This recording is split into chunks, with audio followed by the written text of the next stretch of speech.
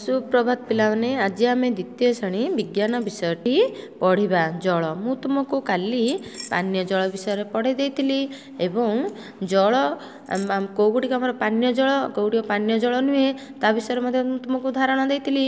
ଆଜି ମୁଁ ତୁମକୁ ଆଉ ଗୋଟେ ନୂଆ ବିଷୟ ଜଳର ବିଭିନ୍ନ ଅବସ୍ଥା ବିଷୟରେ ପଢ଼ିବା। ଦେଖ ଗ୍ଲାସରେ ଖଣ୍ଡେ ବରଫ ରଖି କିଛି ସମୟ ଅପେକ୍ଷା କର। କ'ଣ ଦେଖୁଛ? କିଛି ସମୟ ପରେ ଗ୍ଲାସରେ ବରଫ ବଦଳରେ କିଛି ପାଣି ରହିଥିବାର ଦେଖିବ। ଏହି ପାଣି ଆସିଲା କେଉଁଠୁ? ବର୍ତ୍ତମାନ ଗ୍ଲାସରେ ଥିବା ପାଣିକୁ ଚା କେଟିଲରେ ଢାଳି ଚୁଲିରେ ବସାଇ ଗରମ କର। କ'ଣ ଦେଖୁଛ? ବାମ୍ଫ ଉଠୁଛି ତ? ସେଇ ବାମ୍ଫ ଉପରେ ଥାଳିଆଟିଏ ସାବଧାନରେ ଧରି ରଖ। ଥାଳିଆ ପଛରେ କିଛି ଜଳବିନ୍ଦୁ ଲାଗିବାର ଦେଖିବ। ଏହି ଜଳ ଆସିଲା କେଉଁଠୁ? ବରଫରେ ଜଳ ଥିଲା ବରଫକୁ ହାତକୁ ଟାଣ ଲାଗୁଥିଲା।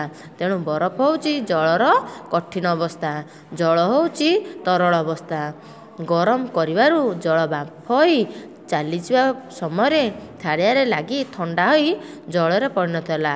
ବାମ୍ଫ ହେଉଛି ଜଳର ବାଷ୍ପୀୟ ଅବସ୍ଥା।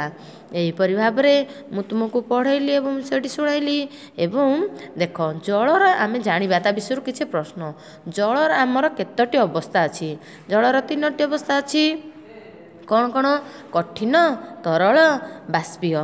ଏହିଭଳି ଭାବେ ଆମେ ଜାଣିଲେ ବରଫଟି ହେଉଛି କଠିନ ଅବସ୍ଥା ଆଉ ଜଳ ହେଉଛି ତରଳ ଅବସ୍ଥା ବାମ୍ଫ ହେଉଛି ବାଷ୍ପୀୟ ଅବସ୍ଥା। ଏହିଭଳି ଭାବରେ ଆମେ ଜାଣିଲେ ନା ଜଳର ତିନୋଟି ଅବସ୍ଥା ରହିପାରେ। କ'ଣ କ'ଣ? ନା କଠିନ ତରଳ ବାଷ୍ପୀୟ। କଠିନ ଆମେ କେଉଁଟାକୁ କହିବା? ନା ବରଫଟାକୁ କହିବା କଠିନ ଅବସ୍ଥା। ତରଳ କେଉଁଟା? ଜଳଟାକୁ କହିବା ତରଳ ଅବସ୍ଥା।